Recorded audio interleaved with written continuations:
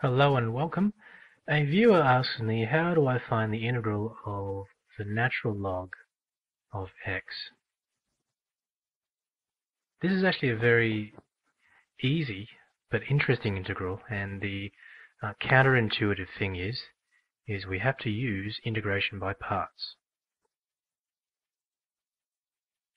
So integration by parts and the rule for that is the integral of u dv is equal to u times v minus the integral of v du.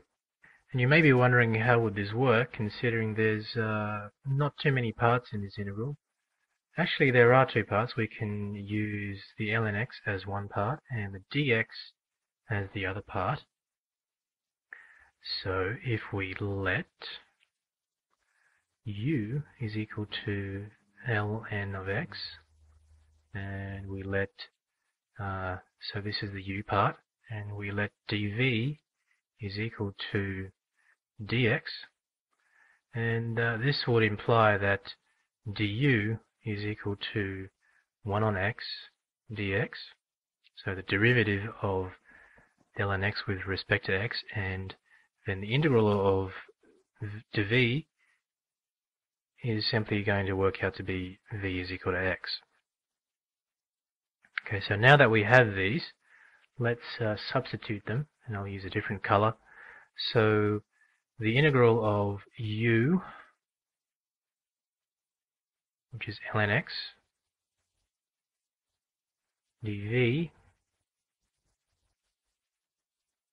which is dx, is equal to u times v.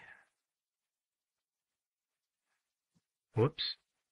I meant to actually substitute that in. So is equal to u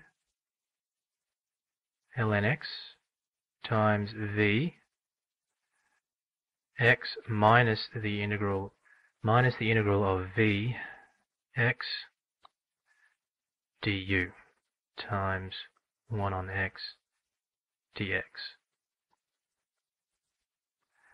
Alright, so uh, we can rewrite this as x times ln x minus the integral of these x's will cancel out, so it's just minus the integral of dx.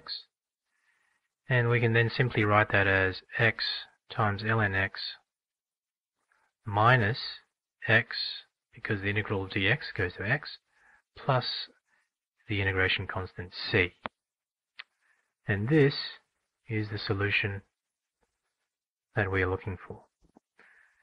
And that's how you integrate the natural log of x. So thanks for watching and I hope you've learned something. If you are currently studying math, please feel free to subscribe to my channel for future videos that may help you on exams or assignments. And as always, please feel free to ask me any question by commenting on any of the videos that you've seen. Thanks for watching and I hope you've learned something.